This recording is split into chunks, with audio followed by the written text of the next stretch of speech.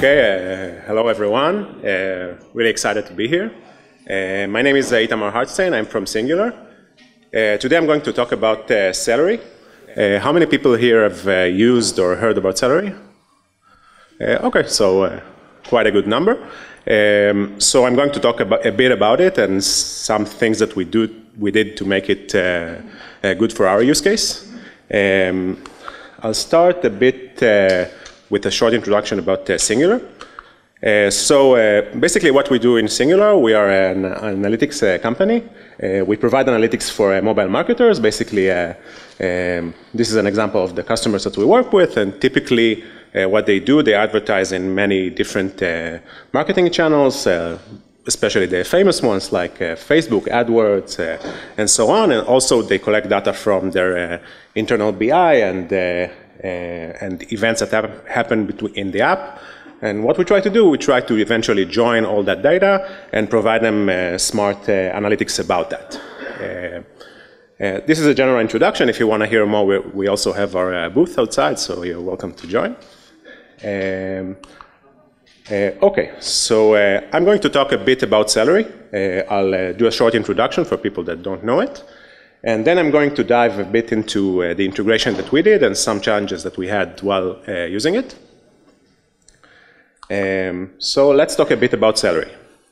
So uh, Celery is a task management system. Eventually what it allows you, it, it basically allows you to distribute uh, tasks uh, on uh, different servers where you can actually allocate different resources to different types of tasks. Um, so it's, uh, it was really convenient for us. We had a pretty uh, a significant pipeline that we had to implement.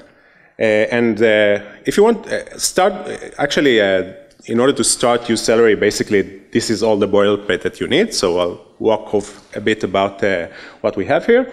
Uh, so basically all you need to get started with Celery is a simple tasks file, uh, which contains mostly three things. First is an app. Uh, you define uh, sort of a global app.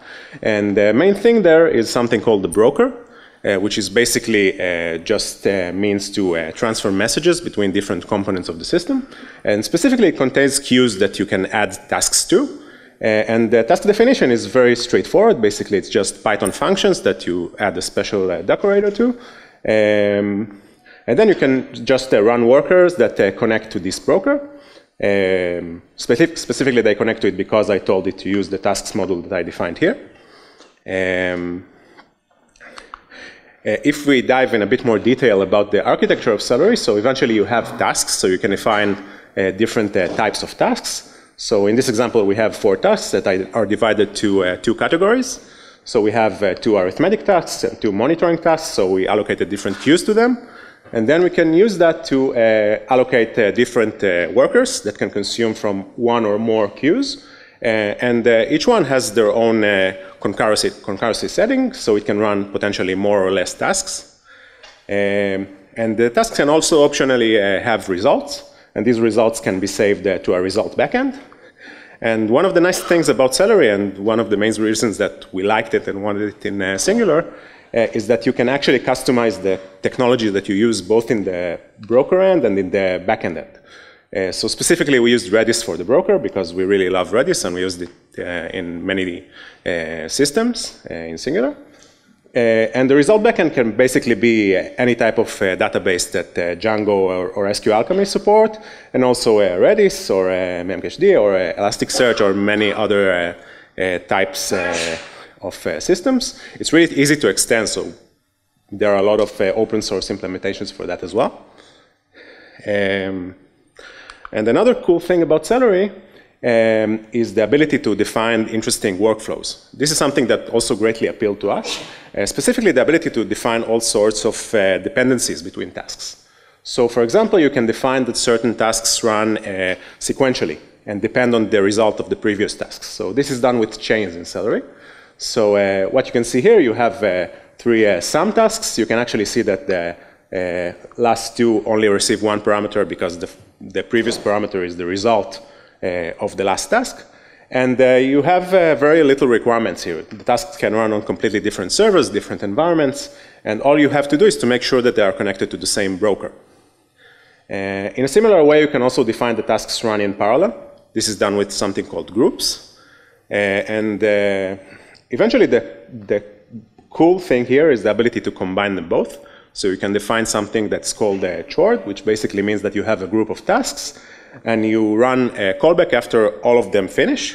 Uh, and Celery supports synchronizing that uh, in a pretty cool way. Um, so that's a, that's a short introduction about Celery. Um, if we dive a bit into our integration, then uh, I discussed before uh, how that we eventually connect with many different uh, partners. So the way we do that is basically we had to implement an API or or some kind of way to pull data from many different data sources. So we actually have an integration for each one, like a Python file that we implement. Uh, so we have one for Facebook, Google, and so on, and we actually have also one for ourselves for uh, data that we collect from uh, mobile apps that install our SDK. Um, so we have a tasks for each one of them. And then afterwards, we have a lot of processing tasks that depend on the result of the previous task.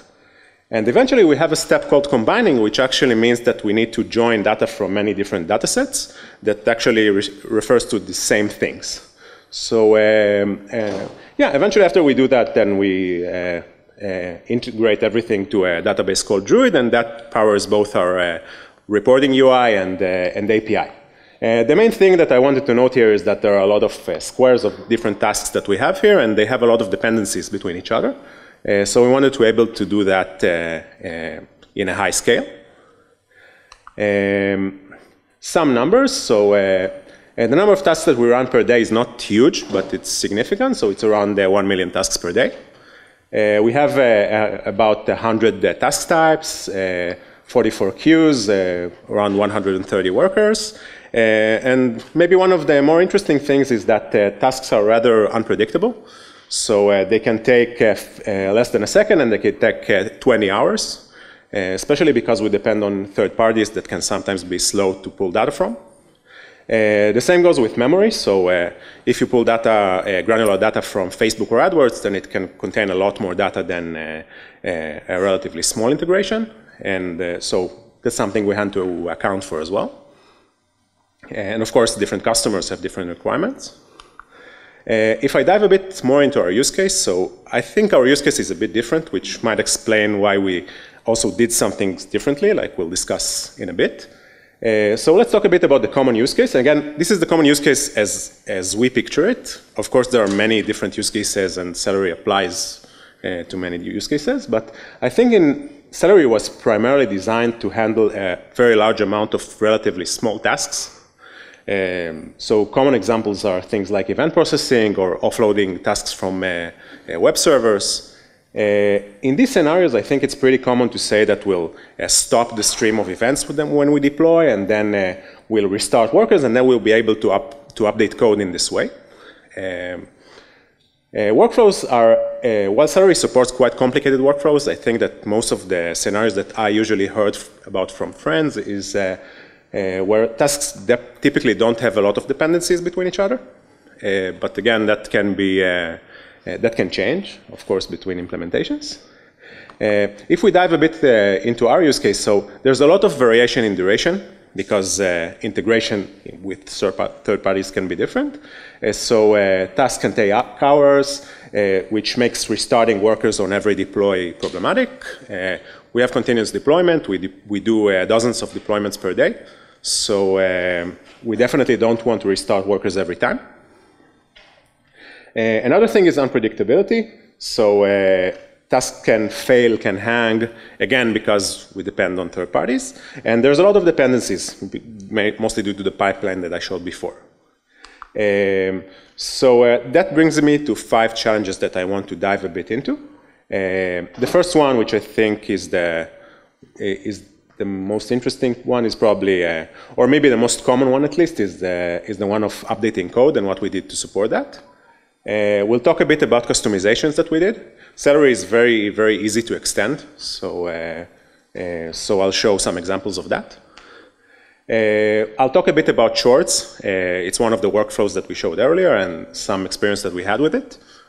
Uh, and finally, I'm going to talk about two problems, specifically uh, killed workers and, and the prefetching behavior, which I'll touch a bit later. Uh, so updating code. So in order to understand the problem of updating code, we need to understand a bit how workers operate. So uh, the idea is pretty simple.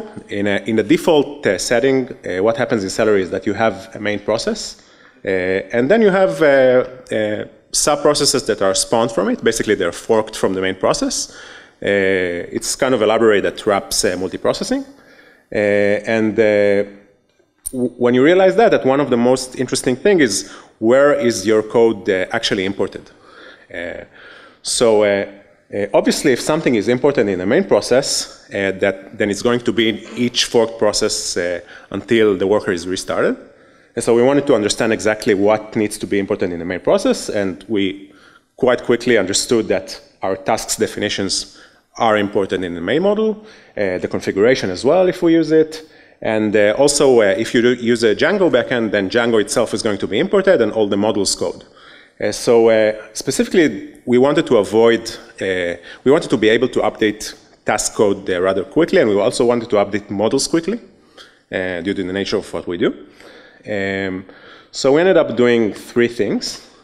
Uh, first is kind of a simple trick, but it's rather effective, so I can recommend it to you if you have a similar problem. And the idea was basically to just uh, move all the code that actually matters to a separate module. Uh, so we have tasks py, which is loaded in the master process, but it doesn't contain any logic. Basically, all it does is import an uh, inner module and then call the relevant implementation. Um, you can see that in the, the, the, the, file tasks inner is actually a file that is only imported when the task actually runs. Um, so, uh, and it contains both the imports that we use and the actual task implementation. So we can actually update the task code uh, pretty much immediately uh, after deploys without restarting the workers. Uh, the only problem is that if you actually want to add new tasks, then you still have to restart, but that happens less often. Uh, in order for that to actually work, we also had to define that uh, uh, each new task will actually be executed in a new process. This is not ideal for all use cases. If you have a lot of tasks, then uh, maybe it's not ideal. But in our case, we had a, a, a, number of tasks that is not necessarily large, but, uh, but the tasks themselves, themselves can take a long time, so we definitely prefer to work this way. Uh, and finally, we also wanted to be able to update uh, Django models, so we actually decided to stop using a Django backend entirely, and uh, we'll, we'll, say in a bit what we did instead. Uh, and that's pretty much it, and from that moment on, updating code wasn't really a concern. We added some safeties to make sure that uh, we don't import more than we intend to in the master process. Uh, next, I'm going to talk a bit about customizations that we needed to do. Uh, so uh, we, uh, so Celery, as I said, is very extendable. And one of the first areas that we noticed that is with serialization. Uh, so because it's a distributed system, then obviously you need to serialize and serialize quite a lot, specifically uh, you need to serialize arguments uh, when you call a task, and you need to serialize results when they finish. Uh, and in order to do that, then Celery supports multiple serialization methods. Uh, it used to be uh, Pickle by default. They changed it to JSON. You can also use message pack and YAML and maybe some other things. Uh, pickle is the most flexible. You can pickle almost everything, but it's also insecure. You can easily run arbitrary code when you load Pickle. Um, so we did want to use JSON, but we wanted a bit more flexibility than what JSON can provide. Uh, so uh, the solution was pretty simple. We just did a JSON with a custom encoder and decoder. There are many examples online of how to do that. And in order to actually uh, uh register, uh, register it, then this is pretty much all the code you need. You just define, uh, you need to define it in multiple configurations, and then you just register a new serialization method. Um, we called it Almighty JSON because it supports more stuff. Um, and, uh, and with time, we added more stuff here, but basically it allows us to uh, serialize anything we want. Uh, the next thing uh, that we wanted to customize is the result backend. So the result backend is actually quite useful because it contains the information about every task that ever uh, runs in your system. Uh, so uh, we ended up using it a lot to monitor what actually happens, did tasks actually run, uh, did they fail or succeed, and so on. Uh, but we, we, quickly found out that there's a lot, not a lot of uh, information in there. Uh, specifically, uh, you can't find the task name there, you can't find the arguments there, and you definitely can't find custom information that is relevant to you. Like, for example, we wanted to know the customer name and maybe pivot tasks by it. Uh, we wanted to have uh, an ad network. This is, some, this is an example that is specific to Singular. We wanted to be able to divide tasks by integration. Uh, we, we, have a notion of uh, scrape IDs and so on. That doesn't really matter. Uh, eventually, we understood that we wanted our own custom table. Uh, so we did just that. We created a custom database table, uh, and we added to it all the default fields in Celery plus a few additional fields. Uh, in order to do that, this is not supported by default in Celery, so what we did is to implement a backend. Uh, this is also pretty simple in Celery. Basically, you have a, a base uh, class called base backend. You need to implement a few functions. The main ones are just how to store a result and how to get a result. Um, once you do that, you just need to configure it, and then you can use your own backend. So uh, this is what we ended up doing, and uh, here in the implementation, we actually defined that we'll uh, write and uh, read from our own custom table. Uh, we did it uh, with raw, raw, SQL instead of Django because this is imported in the master process. Um, and that was really useful to us. Um, and finally, we also made sure, this is pretty standard in Celery, but uh, good to know. Um, we, we made sure we have a lot of tasks, but we wanted some custom logic, uh, common logic to be in all of them. Uh, so we defined the base uh, singular task, and we defined uh, we used it mostly to define uh, monitoring and logging capabilities. So, for example, we wanted to make sure that time and memory performance is recorded for each task in the system, or re report exceptions to Celery, or add more parameters to Kibana. Uh, so this was really easy to do with uh, base task. Um, and that, that pretty much covers the customization parts.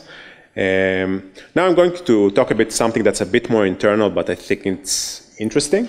Uh, so uh, if you remember, I talked about workflows a bit earlier. So uh, uh specifically, I talked about chords. Chords is the ability to run several tasks in parallel and then define a callback that is run after all of them finish. And we really liked that. It was really useful for us. Uh, we had a lot of dependencies that look like that.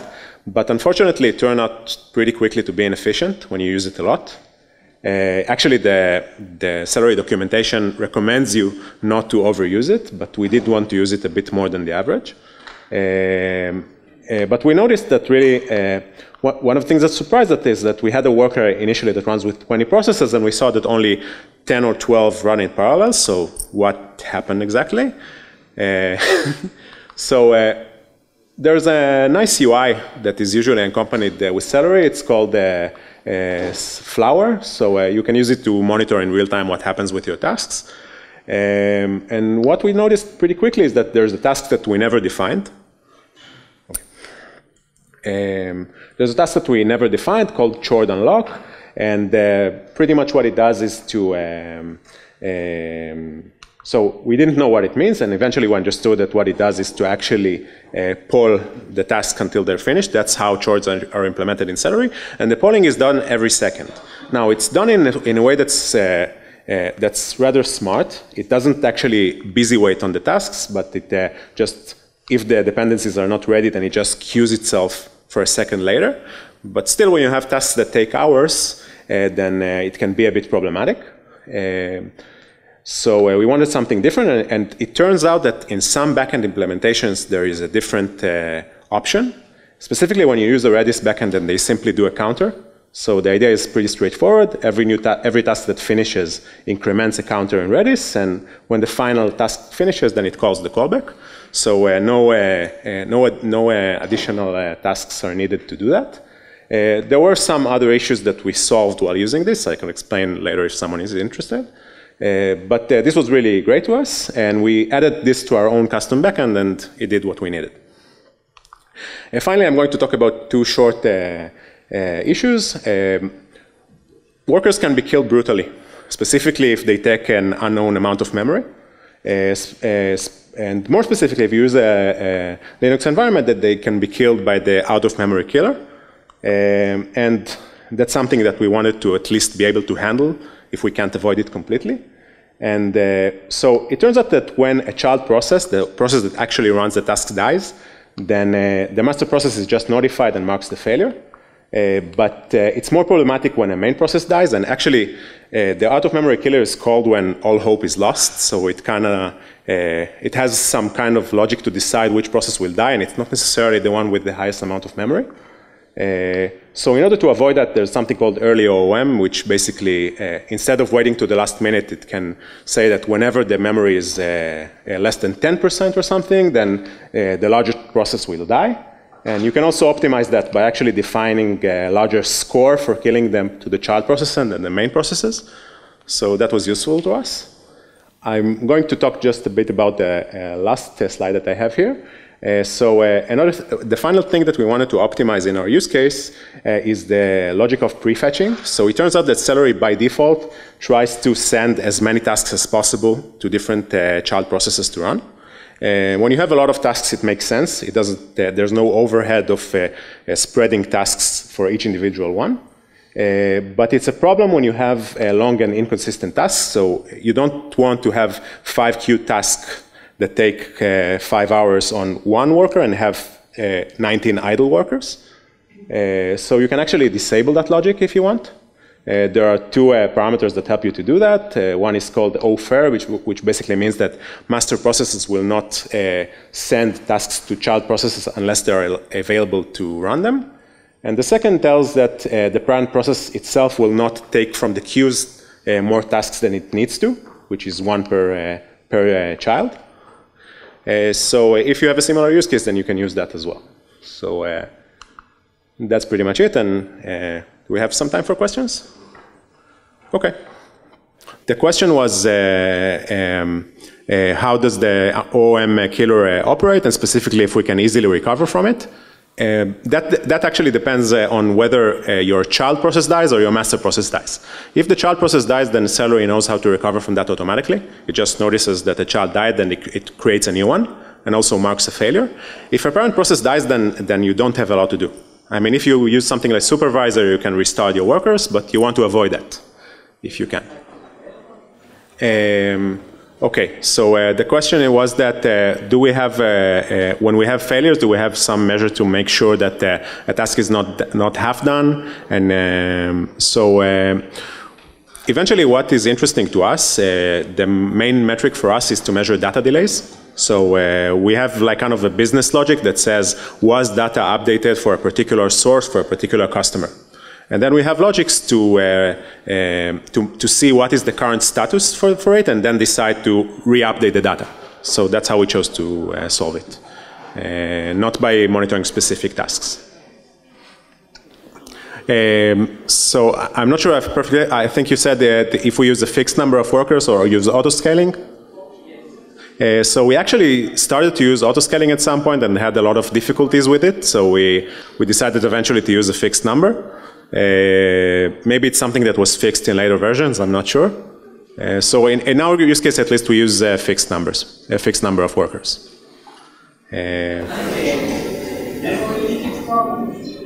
uh, we definitely have a memory problem with certain tasks. So for example, for the large integrations that we have with Facebook and AdWords, we have dedicated workers that do just that, even dedicated servers. Um, yeah, we, we, definitely see problems in some of these cases. Okay, uh, thank you very much.